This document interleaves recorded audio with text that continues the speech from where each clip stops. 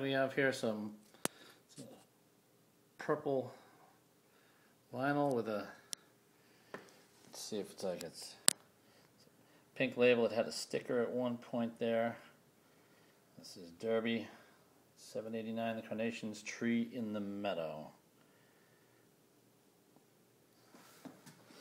And that's on a odd sort of purple wax right there. You can see. Let's uh, let's listen to that thing. Nice song.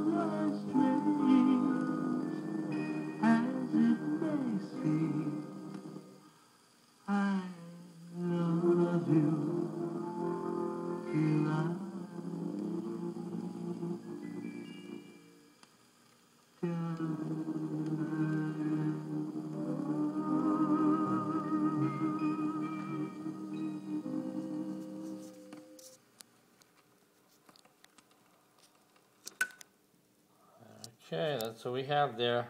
Tree in the Meadow by the Carnations on a purple wax. And then the dead wax, it says on each side. On this side, it says tree. And on the other one, it says clown.